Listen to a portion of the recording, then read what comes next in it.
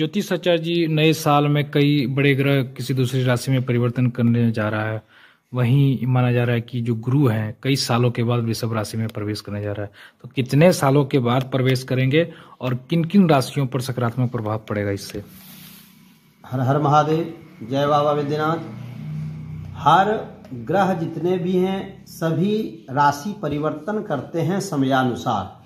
तो इस बार 2024 में जो देवताओं के गुरु, देवताओं के जो आचार्य हैं, देवगुरु, बृहस्पति, वो वृषभ राशि में प्रवेश करने जा रहे हैं। तो वृषभ राशि में 12 वर्ष के बाद पुनः लौट करके आए हैं। तो वृषभ राशि में उनतीस अप्रैल 29 अप्रैल को यह वृषभ राशि में प्रवेश करेंगे। तो तीन राशि वालों का ये भाग्य चमकाएँगे।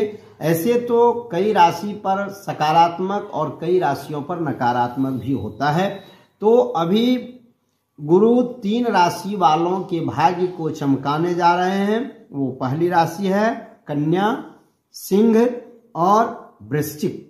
ये तीनों राशि पर गुरु की विशेष कृपा होगी और धन वर्षा का भी योग बनेगा। व्यवसाय करना चाहते हैं तो व्यवसाय करें।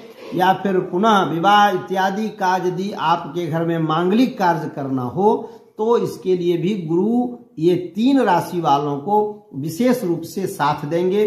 तीन राशि वाले जो भी कार्य करेंगे, गुरु की कृपा बनी रहेगी।